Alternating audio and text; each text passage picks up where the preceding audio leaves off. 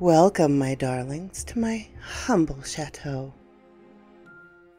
Please make yourself very comfortable. Relax your mind and release your imagination to me. I will bring you a story to entrance and entertain. Perhaps a frightening one Perhaps a steampunk. Perhaps a bit of mythology. Anyway, sit back, enjoy, enjoy, and, subscribe, and subscribe to, subscribe to,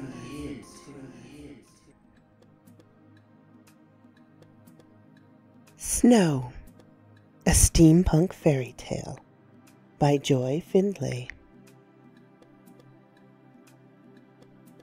It didn't take long for the upcoming wedding to become citywide news. The Mirror, Skyland officials newspaper, decided another expose was in order, at Renee's request, of course. And the tower became the center of wedding preparations and press activity. Snow graciously parked herself in the gallery next to beautifully displayed extravagant works of art. She found this amusing as she felt anything but an extravagant work of art. Glass sculptures sat on metal floors, polished to perfection, while mechanical birds pranced and chattered in golden gilded cages. While no one was watching, Snow took a pencil and quickly drew a large mustache on a painting of a cherub and sat back down again, just as Raina, the Baroness, waltzed into the room. And don't forget the large arrangements for each stand. Make sure there are no higher than the stand is tall.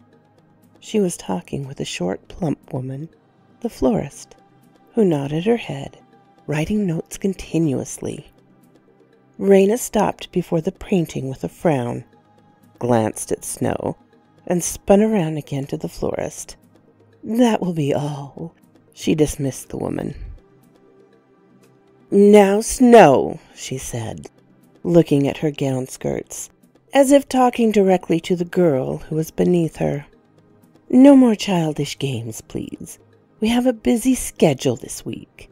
Dress fittings, hors d'oeuvres, wine and cake testing, an interview with the press, and oh, I'm running a little behind schedule. She glanced around the room, then gave Snow a pointed look. Do not mess this up, girl. Her voice deepened into a scratch snarl. It is within my power to advise your father to send you off to boarding school. I know that St. Margaret's Academy for Girls would be much more than happy to accept your gracious application. Now, be a good girl and stay here until the press have left. But don't say a thing. She turned to meet the tailor entering the gallery with a flurry of attendants. Snow hated her, and she felt so bad for hating her. She knew her father was happy in Skyland with Raina, but Snow hated the prison and the evil woman who had built it. She wanted to scream, and she felt bad for wanting to scream. She quickly wiped away a stray tear from running down her cheek. Raina was being fitted for her wedding gown with the notable Leon Flores. It was said he designed clothes for the royal family and was known throughout the land as a master tailor and dressmaker. His beautiful creations were exquisite. Even Snow could admit that. But she had refused Raina's suggestion that Leon Flores make a gown for Snow by pointing out that it was Raina's beautiful day, not hers. Surprisingly, Raina didn't argue saying something about it fitting that she looked inferior to her anyway. Watching the incredible Leon Flores tailor, the beautiful dress on her soon to be stepmother was a wonderful experience. Raina stood in a circular podium that had been set up in the center of the room, while the seamstresses did Leon's bidding. Floral ivy lace was pinned over a silk bodice and skirts, then scooped around the lower back before trailing down two meters across the floor. Pearls and Lilian crystals were to be sewn around every lace petal, with moonstone gems gracing the floral centers. One fitting led to another. There was more than one gown, and, and dress fitting flowed into other wedding preparations. Staff came and went. Attendants moved about the room as Raina's bidding, and a lead reporter from the Mirror arrived shortly before lunch. He interviewed Raina on a chaise lounge in the adjoining room and asked her about the up and coming nuptials and the gowns designed by Leon Flores. He asked her about the Mirror's latest artist, called the White Maid, who had been drawing images of happenings from inside the tower.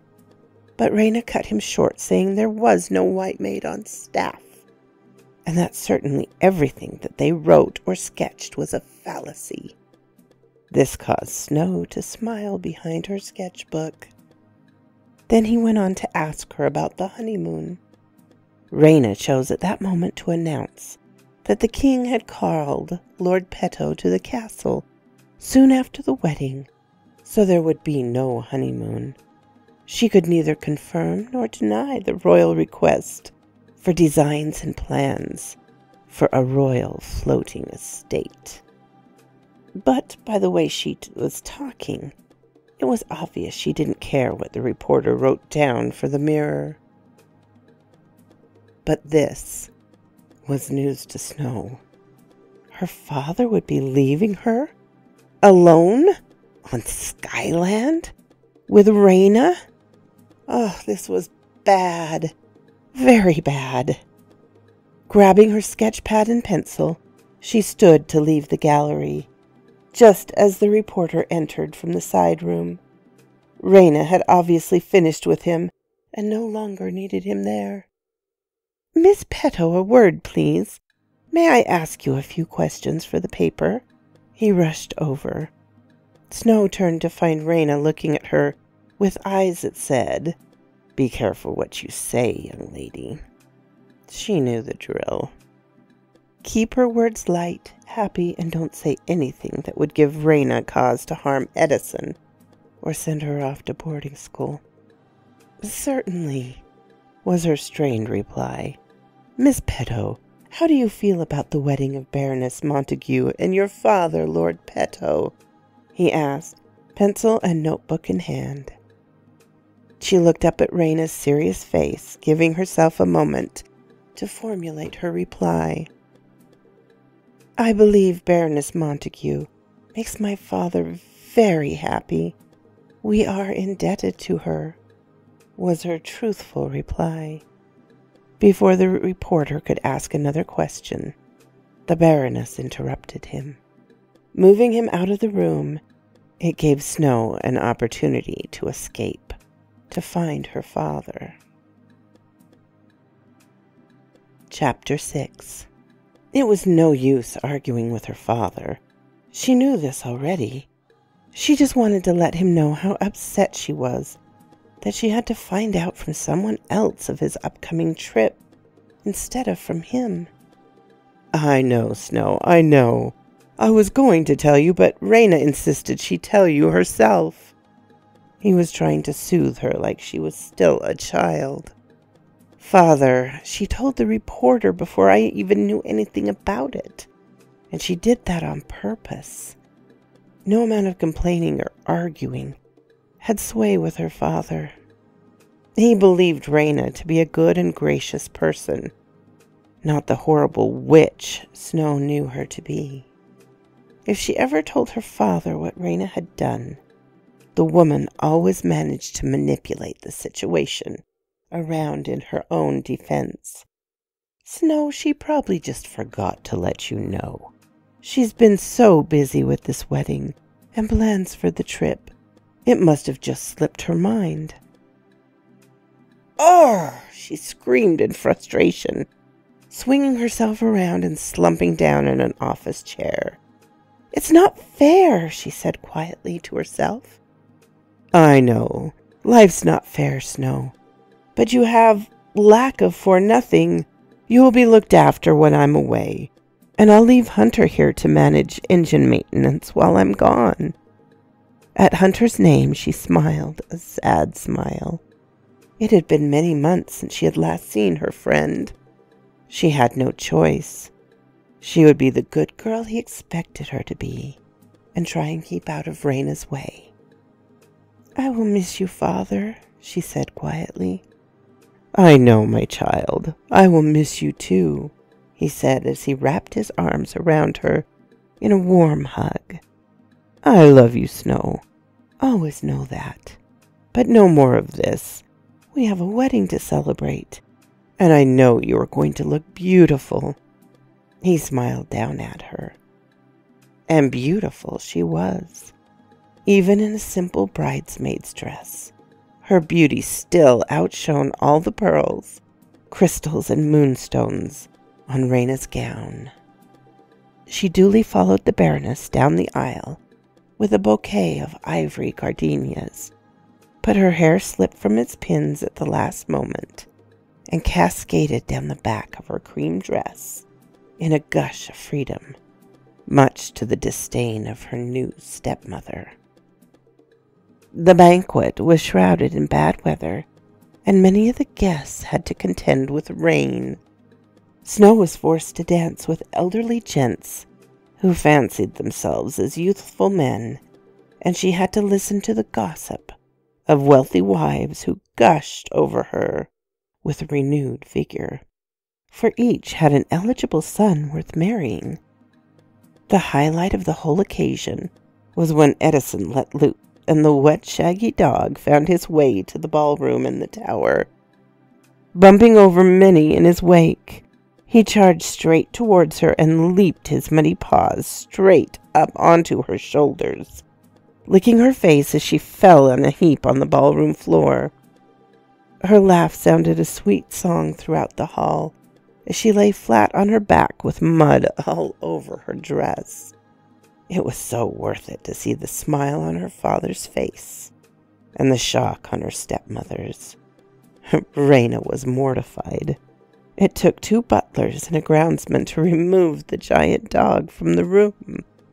As Hunter showed up to help her off the floor, he held out his arm in a gentlemanly manner to escort her from the crowd, as if she were not covered in giant paw prints. Once outside the room, they both ran upstairs and laughed so hard there were tears. You did that on purpose, she laughed.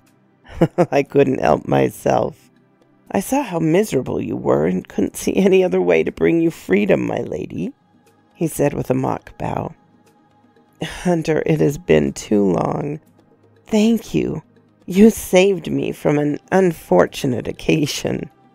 She smiled a sad smile at him before leaving him outside the door to her suite, shutting him out and closing her in.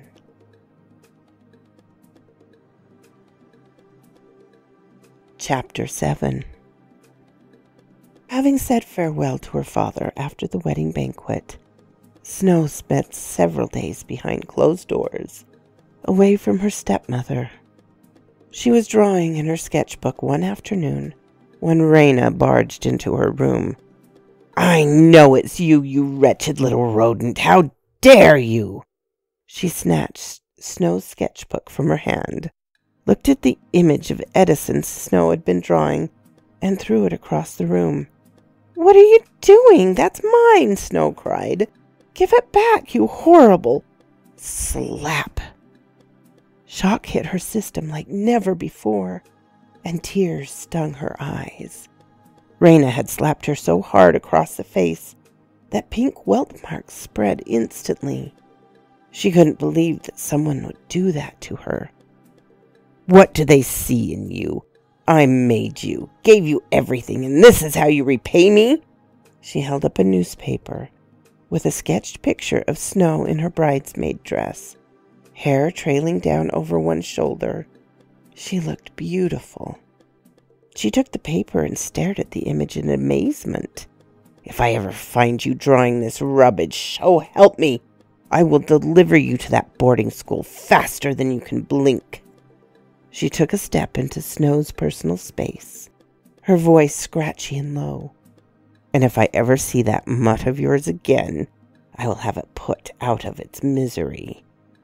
Her eyes were narrowed with fury before she turned and stormed out of the room, knocking a bedroom maid over in the process. Out of my way! she screamed. With shaking hands, Snow picked up her broken sketchbook. The maid helped her pick up the pages as she tried to cover up what was on them. But it was too late. The woman saw what she had tried to hide caricature pictures of various gentlemen and women, lords and ladies, in various humiliating and embarrassing situations. Lord Thompson bowing low with his toupee flopping over his brow. Miss Handelman and Mrs. Tallerway slurping wine with gusto. Lord and Lady Meyer hiding silverware up their sleeves. She quickly picked up the last few sketches of an overweight Raina being fitted into a white gown, while two seamstresses struggled with the bodice laces, a foot on each of Raina's rather large bottom. The maid giggled and handed the paper she collected back to Snow. These are really funny, Miss Peto, said the maid. Please, she begged. You can't tell anyone it is me. She held her drawings to her chest, imploring the maid to keep her secret. Oh, miss, on my honor, I won't breathe a word of it. You can trust me, she said with a smile. You really are very talented, miss. This is a beautiful image she said, pointing to the newspaper article with her face on it. Oh, no, that one wasn't me. I didn't draw that sketch. And she hadn't. She could lay claim to every sketch by the white maid that graced the pages of the mirror since Skyland launched five months ago. But this beautiful sketch was breathtaking. She hadn't drawn this one, but wondered who had. A porter arrived that afternoon with a letter from her father. He hadn't been grounded for long before he'd sent word that he'd been commissioned to design and build a floating castle estate for a wealthy baron and a floating kingdom for the King of Hereford. He was very excited as he wrote of the many technical details that Snow knew were for her brilliant mind only. As the letter was addressed to both her and Raina, she decided to take it to Raina's drawing room and leave it there for her. She peeked into the room and thought it empty before she slipped in quietly. She laid the letter on a tray next to a tea set carefully, only to be startled by an angry voice. You promised me fifty women and children, Raina, said a deep, husky voice. I asked for fifty according to your ledger. The paper was rustled. I got 22. That is not acceptable. Do not speak to your stepsister in that tone, the Baroness's voices screeched in reply. I'm trying to run a business here. I have to deal with keeping the city afloat and keeping everyone busy. If you want another 28 slaves, go get them yourself. Raina was very angry. Snow was frozen on the spot. She couldn't believe what she was hearing. Liam, her stepmother's voice became sultry. I've been keeping up appearances and doing my part to build our empire. I've had men taking children from all over the North Provinces and moving them to the coast, but I'm doing my best. Footsteps came towards the door. Snow panicked, jumping around to find a quick escape, bumping the tea tray in the process. Teacups and saucers crashed to the floor, knocking her out of her fumbling panic as she dashed through the drawing room doors and down the hall. She thought she heard someone follow her towards the servant stairs, but by the time she crashed through the first floor service exit, she was too frightened to look back. She kept running, trying to find a place to hide. She ran past the local markets and past the train tracks. She passed a new fairground that was still being built and through alleyways that were too narrow for service anything. It was under a bridge near the sky dock that she finally stopped to catch her breath. Oh, goodness. Slaves? Raina is kidnapping children? She placed a gloved hand on her forehead. That was a jumble of information, and her heart a whirlpool of fear. Oh, goodness, the letter! And she knew straight away that there was no going back. She had left evidence that it was her that overheard the damning conversation. Oh, what? Oh, what am I to do now? she asked herself in the growing dusk.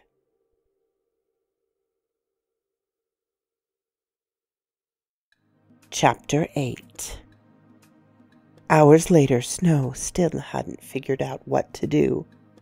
She decided the best thing would be to approach the sky dock, to catch a taxi down to the land village below. But she hadn't left her hiding place very long before someone recognized her. There were men at the Skydock terminal asking after her whereabouts when someone pointed in her direction. She was on the run again, without a clue as to where to go. But she knew if those men took her back to Raina, it would be Edison's death she would have to care about. She took to the train tracks, then found a service tunnel leading off the tracks. Partway through, she found a door off the smaller tunnel that led away from her pursuers and into the belly of the city. It felt like her only way to escape. She had only been down this far underground with her father twice before. The first time to an engine room, one of three, when she saw firsthand just how large and noisy the engines were. The second trip down was with the king's entourage on the day Skylands was launched. She didn't get very far in her solo exploration when both her father and Hunter found her again and warned her from wandering off. It was awe-inspiring how big the city was underground, and she had almost got lost the second time down until Hunter had found her. Hunter, her father, Edison. Everyone she loved were so far away, and she felt so very alone and afraid. She found a darker cubbyhole many turns later where she stopped and sat down to rest. She curled up tight with her head on her knees and cried herself to sleep. Clang! She awoke with a start her heart tumbling around the humid darkness that invaded her on every side. It didn't take long for her to remember where she was and what had happened. She listened again for what had startled her, only to be greeted by the natural hum of the coal engines below and vibrations of the floating city above. Moving again, she came across engineering mechanics in grease covered overalls in the tunnels. She was sure they'd know her face, so she kept herself hidden as much as she could. She came across a large, overhanging water pipe and followed it until she found a dripping seam. Cupping her hands under the flow of water, she drank the metallic tasting water. It was horrible, but it would keep her thirst at bay. She moved through more tunnels avoiding people as much as possible, when she heard a loud bark from nowhere. Edison bounded towards her. She fell to her knees and buried her face in his shaggy neck, holding him tight. Then she realized too late this was probably a trap. Arms pulled her to standing as she screamed, trying to fight them off. Snow, Snow, it's me. It's Hunter. You're okay. Letting her go, hands in front to show her he was no threat to her. She placed her shaking hands over her beating heart and breathed in deeply. Oh, Hunter, you scared me. I thought she'd found me. She looked behind him, fully expecting armed guards. I came alone. I knew something was up when I was asked to take Edison to the pound, and heard you were missing. He looked into her eyes, questions in his expression. Hunter, I overheard Raina talking about kidnapping women and children for the slave trade, and oh goodness, Hunter, I don't know what to do. She was almost panicking. You're telling me that the Baroness, my great great aunt, is an illegal slave trader? he asked in disbelief. Snow took a step away from the young man. You have to believe me. She manipulated everyone and everything, and now with my father away on business, she has no reason to keep me here. She was pleading with him to believe her, but knew it was useless. Snow, listen to yourself. He stepped towards her, retreating form. Raina might be a vindictive woman, but she's very wealthy and very influential. These kind of claims could get you thrown in court. It was obvious he didn't believe her. She tried to recall the details of the conversation she overheard in Raina's drawing room and got frustrated when she couldn't remember it all. She called him Laurie or Lamb or something. Liam! She called him Liam, she whispered rather loudly.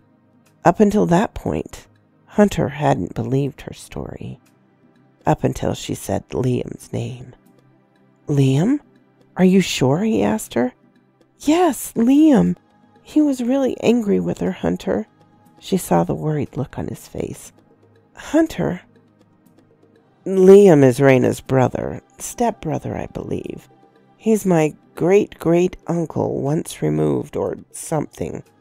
But he's a nasty piece of work. He closed the gap between them and took her hand. You couldn't have known about him, Snow. I believe you, but if he's involved, then you are in grave danger. Well, that's comforting. Sarcasm becoming the better of her. We have to get you out of here. Off Skylands and away from Raina. He looked down at her dress and realized that might not be so easy in what she was wearing. The sky docks are flooded with Raina's men. I tried, it won't work. But I need something to eat. She looked up at him. How did you find me? It was a sudden thought. I'm Hunter. It's what I do. The same line he'd given her every time she got lost. It also might have something to do with Edison and his big fat nose, but uh, he stepped back holding his nose.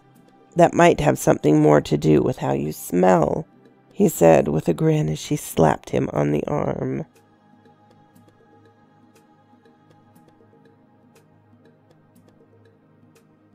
So quoth this raven. My darlings, obviously I am still struggling to get through this cold. But, um, I have stories lined up and ready and I should have one up for you Tuesday. I certainly hope. So, I hope you've enjoyed this little story. Go read more of Joy Finlay's stuff. She has a whole bunch of these wonderful steampunk fairy tales.